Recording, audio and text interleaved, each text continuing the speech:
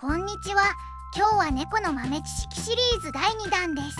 前回質問があったのですがこのナレーターはマリエではありません。AI ナレーターのずんだもんです。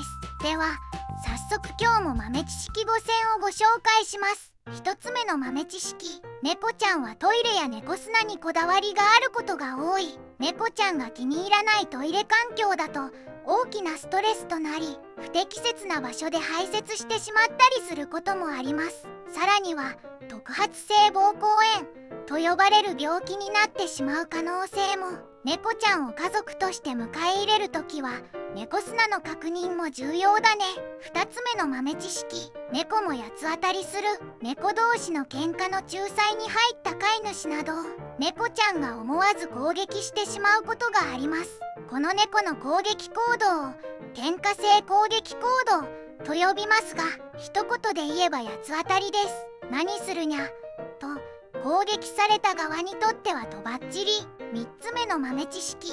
猫の瞳の色は生後3週間後から少しずつ変わっていき定着する。皆さんの飼っている猫ちゃんの瞳の色は何色ですか？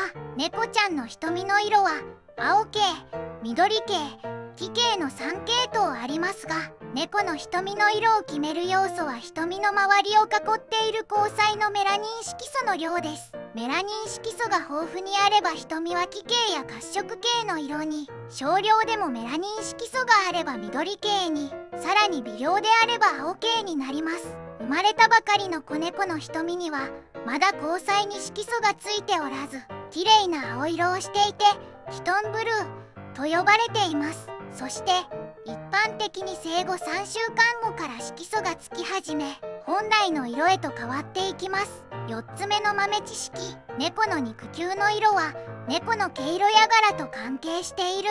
猫ちゃんの肉球はその柔らかさで足音を消して忍び足で歩いたり顔を洗うブラシとして活用できるなど非常に多機能です。そんな肉球の色ですがオーソドックスなピンクから小豆色黒まで様々。中には足や肉球ごとに色が異なったり一つの肉球ごとにブチ模様が入っていたりすることもあるんだって。一般的に白猫やチャトラのような薄い毛色の猫はピンク系統の肉球をそして黒猫やグレーキジトラなどの濃い毛色を持つ猫は黒や小豆色の肉球を持っていることが多いそうです。5つ目の豆知識猫ちゃんの毛色は全身を白くする W 遺伝子が最も強力。猫ちゃんの毛色や柄を決定する遺伝子にはなんと10種類以上の遺伝子が関係しています。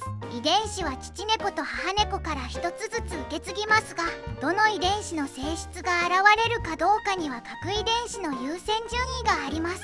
その中で最も強力なのが全身を白くする W 遺伝子なのです。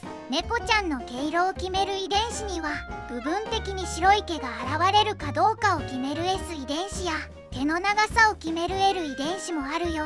というわけで今日も猫の豆知識についてでした。皆さんはいくつ知ってたかな？猫の豆知識シリーズは今後も配信するね。